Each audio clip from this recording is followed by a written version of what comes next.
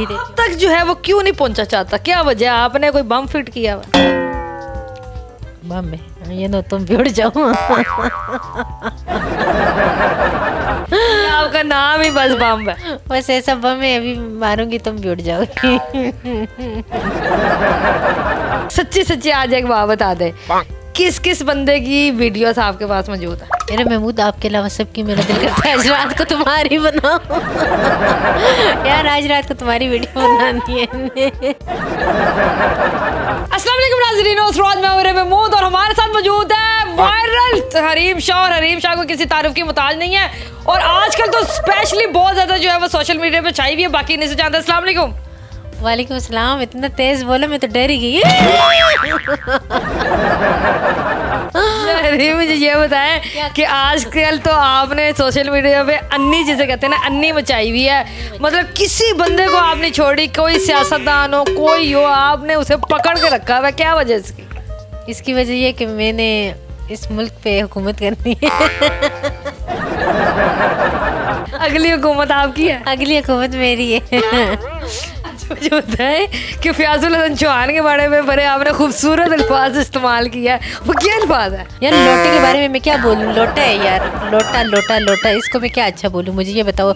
आपने बड़े उसे मतलब क्या है कि तुम सुधर जाओ जैसे कोई अम्मी नहीं डांटती किसी को। यार वो सुधरने वाला तो है ही नहीं। वो लोटा इधर फिरते उधर फिरते मतलब यार क्या ज़िंदगी है उसकी? कभी हमने देखा था आफियातुल हसन चौहान के साथ जो है आपकी टिकटॉक की आती थी बड़ी आपकी दोस्ती आ रही थी? अब एकदम ही आप उसे डांटने लग गई है क्या वजह? सभी एकदम से मैं उसकी मुखालिफ होगी मैं भी से नहीं बहुत पहले से मुखालिफ हूँ उनकी उनके करतूतों की वजह से हरकत की वजह से और उनकी मुनाफिकत की वजह से। और जब उन्होंने इमरान खान के साथ जब से उन्होंने बेवफाई की और जिस तरह आखिर झूठ से इमरान खान के पीछे बोंका गलत बातें की बेबुनियाद बातें की कि मैं ये और मैं वो और नस्वारी नशे इंसान आके इस तरह की बातें कर रहे हैं तो उसको शर्म आनी चाहिए। नस्वार रखते वो। यार पता नहीं ऐसे ही लगते शक्ल से लगते हैं आप। शक्ल से ऐसे ही लगते हैं।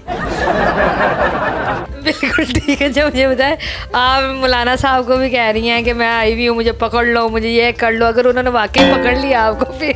तो मैं भाग जाऊँगी से भागेंगी आप। डर नहीं लगता? वो मौलाने वो मुझे नहीं पकड़ेगा कि वो लोगों के सामने यही शौक कराएगा कि गैर मेरम लड़कियों के साथ हाथ नहीं लगाना। लेकिन आप इतनी जो खोल के लोगों को धमकियाँ देती है आपको डर नहीं लगता? नहीं यार डर नहीं लगता। ये बताए कि आप पाकिस्तान आई कैसे है? आपको तो पाकिस्तान आने में पाबंदियाँ थी। आप तो पाकिस्तान आ ही नहीं सकती थी। ममनू किया हुआ था आपको पाकिस्तान आना? मैं वहाँ से आई एयरपोर्ट पे तो एयरपोर्ट पे मैंने जितने भी इमिग्रेशन पे बैठे हुए थे सब पे किया। जादू। उनकी आँखें थोड़ी देर के लिए वो ब्लाइंड हो गए और मैं निकल आई पाए कि आप आपके ऊपर पाबंदियाँ नहीं थी? मेरे ऊपर पाबंदियाँ थी ये सच है। तो फिर आप कैसे आ गए बस फिर भी आ गई देख लो ना। अच्छा हरीम शाह आजकल आपकी बड़ी प्रेस कॉन्फ्रेंस चल रही है और बड़ी कामयाब चल रही है। तो लोग उस प्रेस कॉन्फ्रेंस का इंतज़ार कर रहे हैं जब आपने कहना कि मैं अब ये पार्टी छोड़ने लगी हूँ मेरे ऊपर कोई दबाव है। मैं कभी नहीं छोड़ूँगी जिन्होंने छोड़ी वो सारे नामर्द थे। उनको तो मैंने बहुत पहले नामर्द डिक्लेयर किया हुआ था। तो मेरी बातों पे आवाम को यकीन नहीं था। मेरे ख्याल में जो इमरान खान से प्यार करने करने वाले लोग हैं और मोस्टली मेजोरिटी इमरान खान के फॉलोअर्स की है जितना भी देखा जाए। बाकियों की नस्बत तो उन सबको मेरी बात पे यकीन आ गया कि वाकई मैंने सच बोला था कि ये ना मर्द हैं ये सारे खसरे हैं। बिल्कुल ठीक है जब मुझे ये बताइएगा कि आपको कोई फ़ोन चोन कोई प्राइवेट नंबर से कोई मैसेज ऐसा कुछ नहीं आता जिससे आप थोड़ी देर डर के सहम के बैठ जाए? मुझे किसी भी अननोन नंबर से कॉल आके जब भी कभी होता है ऐसा कैसी भी कोई भी कॉल आए तो मैं आगे से कहती हूँ आ जाओ लोकेशन सेंड कर दूँ आप लोगों को नहीं है तो मैं बता देती हूँ फ़लाँ जगह पर हूँ। लेकिन कोई कोई अभी तक आता ही नहीं है। मैं इंतज़ार में मुंतज़र बैठी थी तक जो है वो क्यों नहीं पहुँचा चाहता? क्या वजह आपने कोई बम फिट किया हुआ बम में ये नो तुम भी उड़ जाओ आपका नाम ही बस बम है बस ऐसा बम है अभी मारूँगी तुम भी उड़ जाओगी सच्ची सच्ची आज एक बात बता दे किस किस बंदे की वीडियोस आपके पास मौजूद? है मेरे महमूद आपके अलावा सबकी मेरा दिल करता है आज रात को तुम्हारी बनाओ यार आज रात को तुम्हारी वीडियो बनानी है अच्छा जी जो आपका सारा डाटा ये आपके मोबाइल में होता है। ये मेमोरी में भी होता है। मेरी आँखों में। मैंने आँखों के अंदर लेंस लगाए हुए हैं सब कैप्चर करते हैं। मुझे समझ नहीं आती कि आप इतने बड़े बड़े नाम लेती हैं। तो ये कैसे आपकी बातों में आ जाते हैं जबकि सबको पता भी है कि रीम शाह जो है वो एक शुल्ली है तो फिर ये आपकी बातों में कैसे आ जाते हैं? यार वो एक फिर भी आते पता नहीं क्या। मैंने कहा ना मैं ऐसा मंत्र जादू थोड़ी देर के लिए बंदा मदोश हो जाता है कह रही इन फ्यूचर आपको पीड़नी मुरीदनी वाला भी जो है वो काम करने वाली है। आस्थाना खोल के बैठने वाली है सबसे। बिल्कुल ठीक है जब मुझे बताइएगा कि आने वाले मुस्तकबिल में हरीम शाह को हम कहाँ देख रहे हैं? इन फ्यूचर कुछ नहीं कह सकते यार फ्यूचर किसने देखा है? बस मैं कहती हूँ प्रेजेंट हो, जो आ लो, उसको इन्जॉय करो। उससे लुत्फानंदोज हूँ। फ्यूचर के बारे में सोच के भी क्या करना है क्या पता कल किसने देखी है तो हाल को मेरे ख्याल में इंजॉय करना चाहिए।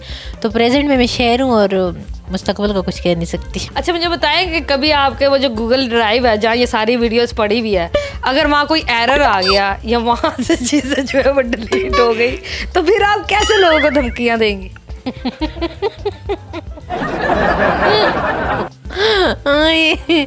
नहीं होगा। सोचा कभी आपने इस बारे में? चीज़ के एक बैकअप होते हैं हमारे पास बहुत हम आपसे ज़्यादा तेज है। बिल्कुल ठीक। अच्छा मुझे बताया पाकिस्तान में आप खुद को महफूज फील कर रही है या किसी से खतरा है कोई?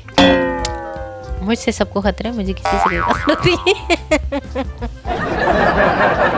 आपको माशाल्लाह जो है वो काफ़ी चलाक, समझदार समझा जाता है कि आप लोगों की जो है वो चीज़ें ऐसे बना के वीडियो इधर उधर भी हो जाती है। तो मुझे ये समझ नहीं है कि आप जैसे लड़की जो है वो अपने सगे दोस्तों से कैसे धोखा खा लिया आपने? कैसे उनके फ्रॉड में आप आ गई? फ्रॉड में तो नहीं आई। मेरे साथ हो के तो वो नहीं खैर मेरी दोस्ती थी संदल के साथ। और जब मुझसे दूर हुई तो उसने ऐसा किया तो क्या धोखा खाया? उसको मैंने अडियाला पहुँचा दिया अडियाला में उसने जाके बारह दिन, तेरह दिन जेल में रही है। वहाँ पे सी क्लास, थर्ड क्लास में रोती रही है, अपने आप को मारती रही है, पीटती रही है, वहाँ पे दालें खाती रही है। और क्या कहते हैं नीचे बदबूदार गद्दे पे सोती रही है तो मतलब अभी भी आगे भी अभी ट्रायल जब चलेगा अभी तो ज़मानत पे निकली हुई है मेरे पास इनफ सबूत हैं तो अभी इसको सज़ा दिलवाऊँगी इंशाल्लाह सारी ज़िंदगी बकी है वो जेल में गुजारेगी। मुझे जाते जाते ये बता दें कि इमरान खान साहब जो है उनकी भी कोई वीडियो आपके पास मौजूद है?